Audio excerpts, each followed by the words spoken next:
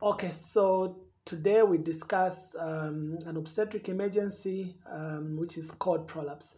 So, cord prolapse is quite common, um, and I think when we are in labor ward, we are all going to see uh, this uh, condition. So, we'll start by defining cord prolapse. What is cord prolapse? So, cord prolapse is descent of the cord below um, the presenting part. So when the cord presents below the presenting part, we call that an overt uh, cord prolapse. And sometimes the cord is just side by side with the presenting um, part, but not below um, the presenting part. That's also a cord prolapse, but it's an overt, it's an, a knockout uh, cord prolapse, so to say. So this is as opposed to what is called um, cord presentation. In cord presentation, the cord is also below uh, the presenting part, or is it the cord has presented below the presenting part, or the cord is side by side with the presenting part. But in this case, the membranes are intact. So when the membranes are intact, we call that a cord presentation. So what are the risk factors for um, for cord prolapse? So there are condition related risk factors and there are procedure related risk factors. So we'll start with condition related uh, risk factors. So we have things like um, malpresentations, uh, you know, breech presentation. We have abnormal um, like transverse lie. We have um, unstable lie. We have conditions where the fetus is an is abnormal, like you have um, um, hydrocephalus, uh, we have uh, twin pregnancies, um, we have um, conditions like twin pregnancy, we have situations where uh, the fetal head or the presenting part is not engaged and it's just floating for whatever reason. Um, conditions like um, polyhydramnios, all these conditions can uh, predispose to uh, cord prolapse. We have procedures that predispose to cord prolapse. Uh, one of them is artificial rupture of membranes. So if you're rupturing membranes for induction of labor or for augmentation of labor, uh, when the presenting part is quite high, all this can predispose to cord prolapse. Sometimes when you're trying to do fetal manipulation in external cephalic version, um, internal cephalic version, all these uh, things can um, predispose to to cord prolapse. So what is the problem when it comes to cord prolapse? What why is it uh, an obstetric emergency? So when the cord prolapses, it's below the presenting part. So the presenting part can compress on the cord, um, reduce oxygen supply to the baby, cause hypoxia, cause acidosis, and eventual uh, fetal death. So that is the problem um, that is there with cord prolapse. But the bigger problem is that the cord is out of its natural habitat, so to say, and it's um, being exposed uh, to uh, the weather elements. So uh, the cord, the heat outside the um, amniotic sac can cause uh, those blood vessels to go into vasospasms and in the same way reduce oxygen supply to the baby, cause hypoxia, cause acidosis, and eventual fetal death.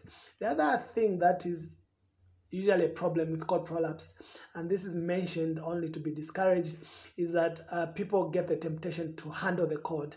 Uh, so handling the cord also causes the cord to go into vasospasms, and that can cause um, hypoxia to the fetus, and also can eventually end up uh, with fetal death.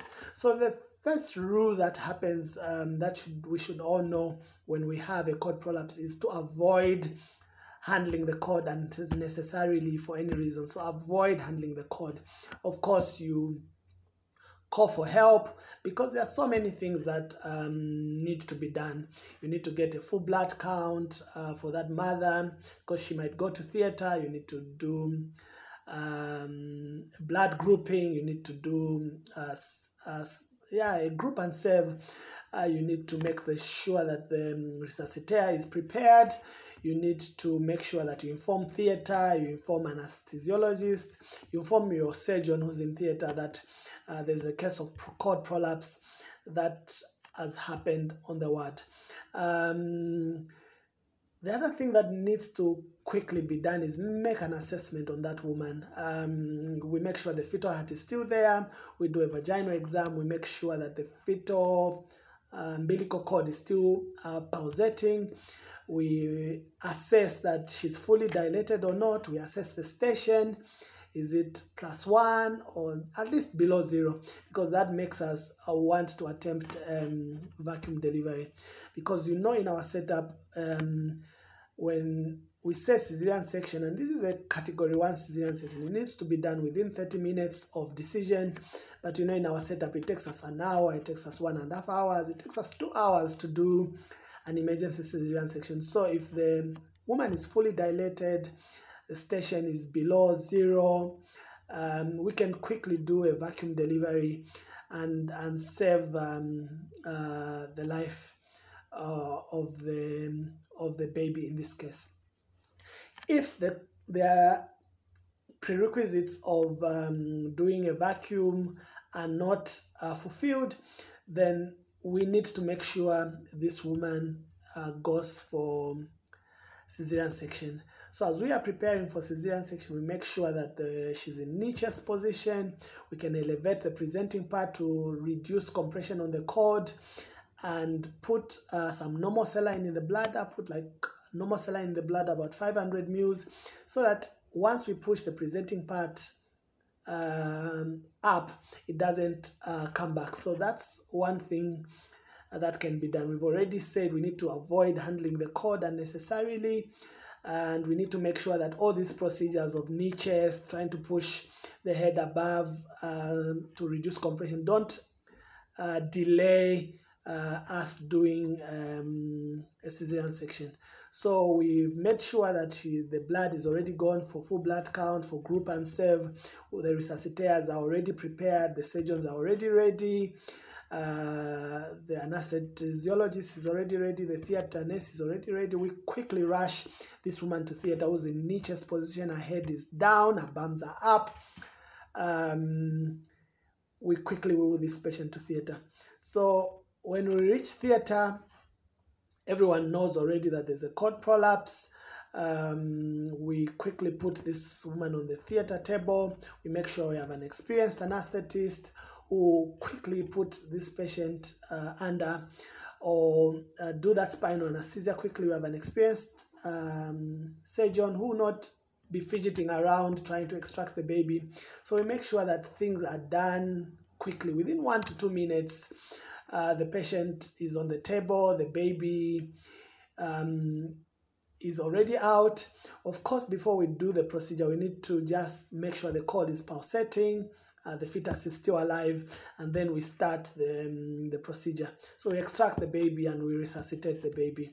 If before the procedure we find that the um, cord is not pulsating, of course, we empathetically um, explain the condition to the mother, what has happened, that her baby is normal, um, uh, her baby is not alive anymore, and therefore she'll need to go back to the labor ward where a normal delivery um, is going to take place because there's no um, reason uh, for the cesarean section to be done if the baby is already dead. So uh, that is uh, cord prolapse. It's an obstetric emergency. We need to move very quickly um, to save that baby. And um, it's an unfortunate event when it happens.